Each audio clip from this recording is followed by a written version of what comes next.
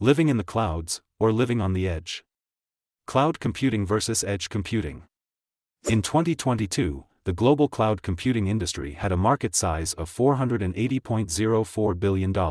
In research by the same company, Zippia, it was estimated that 94% of companies use cloud services, and 67% of corporate IT infrastructure is now cloud-based. If that weren't impressive enough, cloud computing is still growing at an impressive rate. Want to learn more? Read the blog.